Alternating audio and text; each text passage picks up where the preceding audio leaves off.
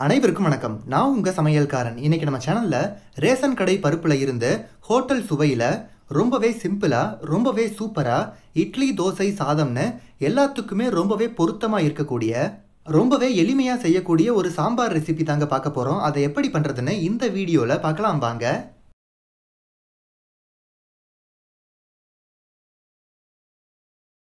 அரை கப் அளவுக்கு ரேஷன் கடையில் வாங்கின துவரம் பருப்பை ரெண்டு மூணு தடவை தண்ணியில் நல்லா அலசிட்டு அரை மணி நேரம் ஊற வச்சுட்டு நல்லா கழுவி எடுத்திருக்கேங்க. இதை அப்படியே ஒரு ப்ரெஷர் குக்கரில் சேர்த்துட்டு அடுத்து இதோட ஒரே ஒரு நறுக்கின பெரிய வெங்காயம் ரெண்டே ரெண்டு நறுக்கின தக்காளி ஒரே ஒரு பச்சை மிளகாய் பத்தில் இருந்து பன்னெண்டு சின்ன பல் பூண்டு கொஞ்சமாக கறிவேப்பிலை கொஞ்சமாக பெருங்காயத்தூள் அரை தேக்கரண்டி அளவுக்கு மஞ்சள் தூள் முக்கால் தேக்கரண்டி அளவுக்கு மிளகாய்த்தூள் ஒன்றரை தேக்கரண்டி அளவுக்கு மல்லித்தூள்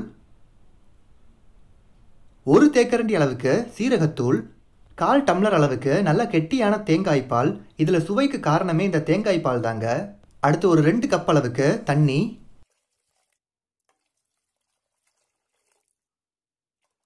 ஒரு மேஜை கரண்டி அளவுக்கு எண்ணெய். இதுக்கு தேவையான அளவுக்கு உப்பு சேர்த்து இது எல்லாத்தையும் நல்லா கலந்துக்கலாங்க. இது லேசாக கொதிக்க ஆரம்பிக்கட்டும். கொதிக்க ஆரம்பிச்சதும் இந்த குக்கரை மூடி போட்டு மூடி வச்சுட்டு ரெண்டு விசில் விட்டுக்கலாங்க.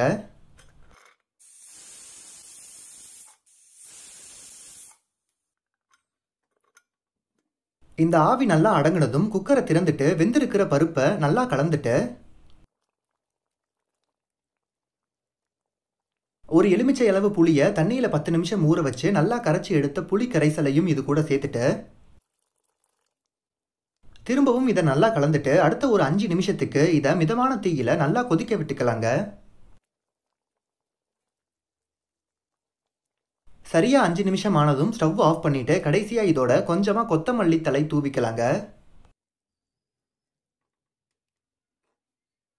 நம்மளோட சாம்பார் நல்லா அருமையாக ரெடியாகி இருக்கு பாருங்க. இனி இதுக்கு தாளிக்கணும். ஒரு தாளிப்பு பாத்திரத்தில் கொஞ்சமாக எண்ணெய் சேர்த்துட்டு எண்ணெய் சூடானதும் கொஞ்சமாக கடுகு கொஞ்சமாக சீரகம் ஒரே ஒரு காய்ந்த மிளகாய் கொஞ்சமாக கறிவேப்பிலை சேர்த்துட்டு இதை அப்படியே நம்மளோட சாம்பாரில் சேர்த்துக்கலாங்க.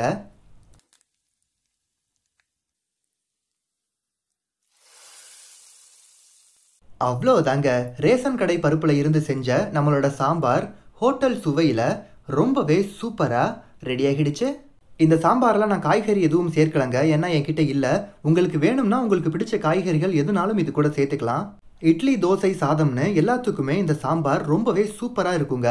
நீங்களும் உங்கள் வீட்டில் இதை கண்டிப்பாக ட்ரை பண்ணி பாருங்கள் இந்த வீடியோ உங்களுக்கு பிடிச்சிருந்தா லைக் பண்ணுங்கள் கமெண்ட் பண்ணுங்கள் ஷேர் பண்ணுங்கள் எல்லாத்துக்கும் மேலே உங்கள் சமையல் காரன் சேனலை சப்ஸ்கிரைப் பண்ணுங்கள் உடனுக்குடன் நம்மளோட வீடியோக்களை பார்க்கறதுக்கு பக்கத்தில் இருக்கிற பெல் ஐக்கானையும் கிளிக் பண்ணி வச்சுக்கோங்க.